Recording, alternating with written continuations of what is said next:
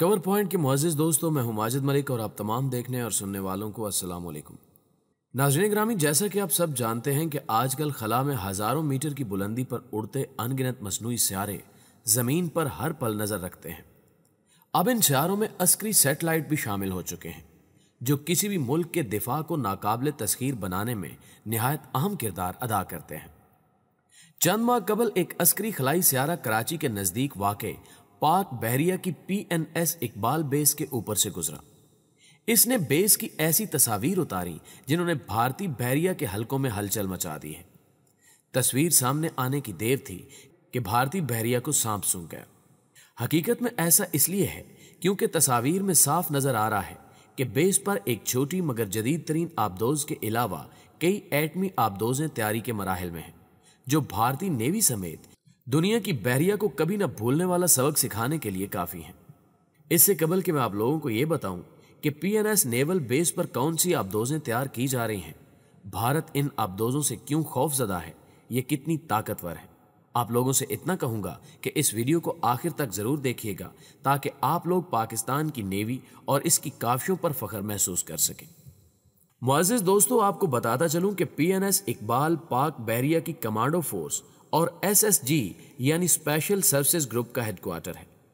यह खसूसी फौज 1966 में कायम की गई थी, ताकि दुश्मन पर गैर रिवायती हमले किए जा सके।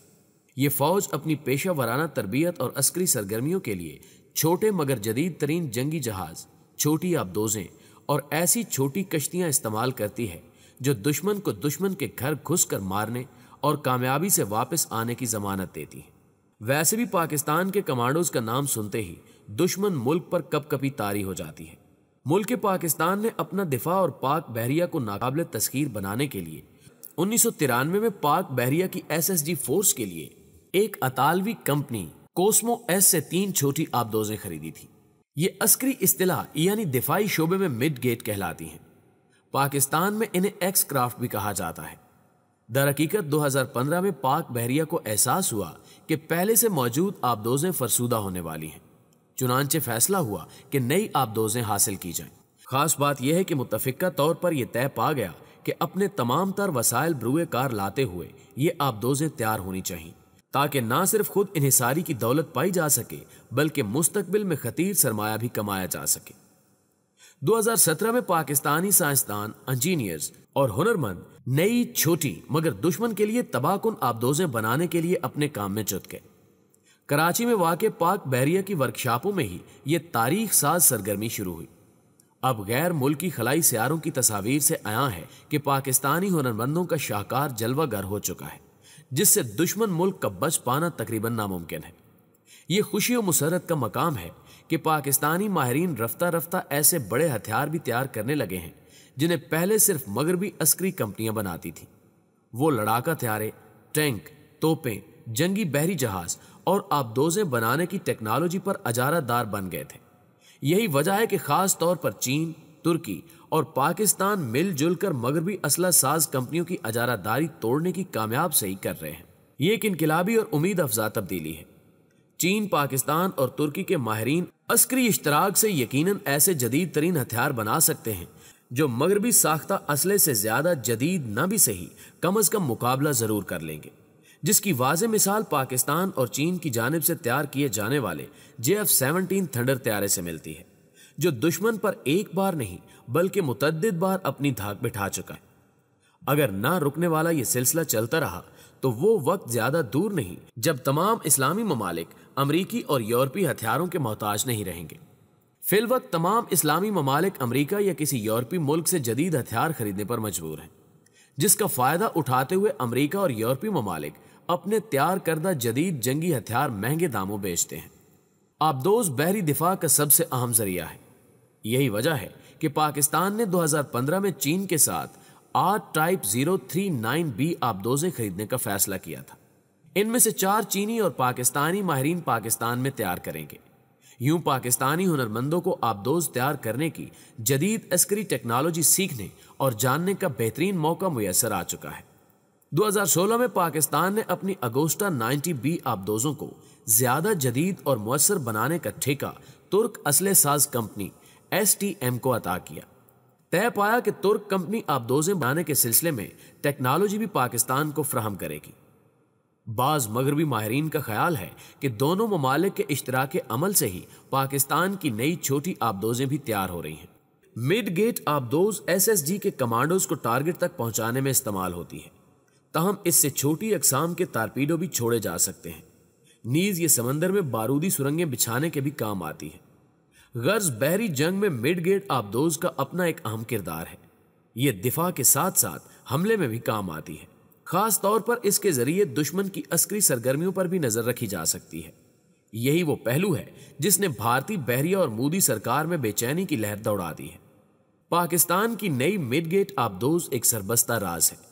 किसी को खबर नहीं कि इसमें कैसे जदीद तरीन आलात नस्ब किए गए हैं। अमरीकी माहिर अस्क्रियात, एच आई स्टिन ने रिसाला फोरबिज में पाकिस्तान साख्ता मिड गेट पर तबसरा करते हुए लिखा कि इसका डिज़ाइन मकामी है। गोया इसे किसी बैरून मुल्क से मुस्तार नहीं लिया गया। यूँ इसने पाकिस्तानी माहरीन को खराज तहसीन पेश किया, जो जिद्दत और तरक्की के खां हैं। भारतीय बहरिया के पॉलिसी साजों को खतरा है। कि अगर पाकिस्तान ने जदीद तरीन मिड गेट आबदोजें बना ली तो वो खसूसन सर क्रीक गुजरात हत्या के मुंबई तक के इलाकों में इसकी सरगर्मियों पर निगाह रखने के काबिल हो जाएगा। यूँ भारतीय बहरिया अचानक हमला करने की सलाहियत खो बैठेगी। वजह यह है कि मिड गेट आबदोजों की देखभाल पर ज़्यादा खर्च नहीं आता और इनका इस्तेमाल भी बड़ी आबदोजों की नस्बत आसान है। लिहाजा इन्हें तवील अरसा जेर आब रखना मुमकिन है। बेहतरीन अस्करी हमत अमली के माहिर डॉक्टर प्रकाश सलवान बेंगलोर में वाक़ एक Askari think tank national institute of advance studies से वाबस्ता है। वो अपने मजमून में लिखता है कि पाकिस्तान अब ज़्यादा से ज़्यादा आबदोजें हासिल करने की कोशिश कर रहा है।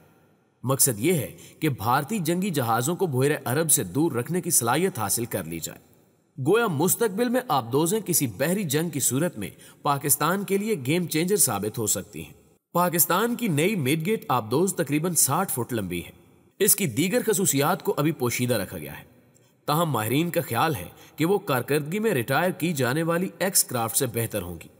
अतालवी कंपनी की साख्ता एस क्राफ्ट सतह आब पर नाइन नाट, यानी सत्रह किलोमीटर फ़ी घंटा, और जेर आब सिक्स नाट, यानी ग्यारह किलोमीटर फ़ी घंटा की रफ्तार से सफ़र करती है। बीस दिन मुसलसल जेर आब रह सकती है। इसका वज़न 102 टन है। समंदर की 110 मीटर, यानी 360 फुट गहराई तक जा सकती है। इसमें 14 अफराद बैठ सकते हैं। नई पाकिस्तानी मिड गेट आबदोज इन खसूसियात से कहीं ज़्यादा जदीद होगी। बहरिया की इस्तेलाह में मिड गेट वो आबदोज है, जिसका वज़न 150 टन से कम हो। ये आबदोज एक या दो अफराद चला सकते हैं। दुनिया की अवलीन मिड गेट आबदोजें बरतानिया में बनाई गई। मकसद बंदरगाहों की हिफाजत और दिफा करना था। बाद अजा जर्मनी और जापान ने ऐसी मिड गेट आबदोजें ईजाद कर ली, जो हमले में भी काम आती थी। इनको दूसरी जंग अजीम के दौरान वसी पैमाने पर इस्तेमाल किया गया था। पाक बहरिया आबदोजों के अलावा जदीद तरीन अस्करी टेक्नोलॉजी से लेस, फ्रेगेट, जंगी जहाज़, साहलों की निगरानी करने वाली बड़ी कश्तियाँ और तेज रफ्तार मिजाइल बुरदार कश्तियाँ खरीदने का प्रोग्राम भी रखती है। मकसद यह है कि ना सिर्फ़ कौमी बैरी दिफा मज़बूत तरीन हो सके बल्कि बोर अरब में भी अपनी सुपर मैसी साबित कर दी जाए। यूँ दुश्मन हमला करने से कबल हज़ार बार सोचने पर मजबूर होगा। माहरीन अस्क्रियात कहते हैं कि दिफा को बेहतर से बेहतर बना लेना एक बेहतरीन अस्करी हमत अमली है, क्योंकि इसे अपनाकर एक मुल्क ताकतवर हरीफ से भी शिकस्त नहीं खा सकता। नाजरीन ग्रामी मंडलाते खतरात और बुहर अरब को दुश्मन से पाक रखने की ज़िम्मेदारी पाक बहरिया की है। ये समंदर बहर हिंद का हिस्सा है। बदलते आलमी हालात में उभरती ताकत चीन के लिए बैर हिंद और कश्मीर अहम और तदबीराती जोग्राफियाई मुकाम बन रहे हैं। यही वजह है, जब भारत ने कश्मीर के इलाके लद्दाख में अपनी चौधराट दिखानी चाहिए तो चीन ने भारत को मुँह तोड़ जवाब देकर उसे बताया कि वहाँ भारतीय तोसी पसंदी के अजायम पूरे नहीं हो सकते। उधर बुहरे जनूबी चीन और बहरुल काहिल में चीन और अमेरिका के माबैन कशमकश बढ़ रही है। इलाके में अमेरिका अपने इतिहादियों को एक सफ में लाने की सही कर रहा है, ताकि चीन का मुकाबला हो सके। भारत और ऑस्ट्रेलिया का बढ़ता अस्करी इश्तराक इसी हमत अमली की कड़ी है। चीन अपनी बेशतर आलमी तजारत बहरी जहाज़ों के ज़रिए अंजाम देता है। लिहाजा अब वो बुहर अरब को मुतबादल समंदरी रास्ते के तौर पर देखने लगा है। मुदा यह है कि मुस्तबिल में अमरीकी अस्करी इतिहाद ने बैरुल काहिल, बैर हिंद और बुहर जनूबी चीन की नाकाबंदी भी कर दी है।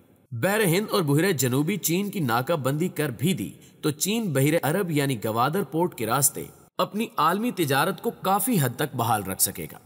यही वजह है कि चीन बुहर अरब में बहरी दिफा मज़बूत तर बनाने के लिए पाकिस्तान की मदद भी कर रहा है।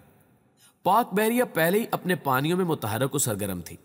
अब चीन और तुर्की के इश्तराक से इसकी अस्करी कुत में मजीद इजाफा हो रहा है।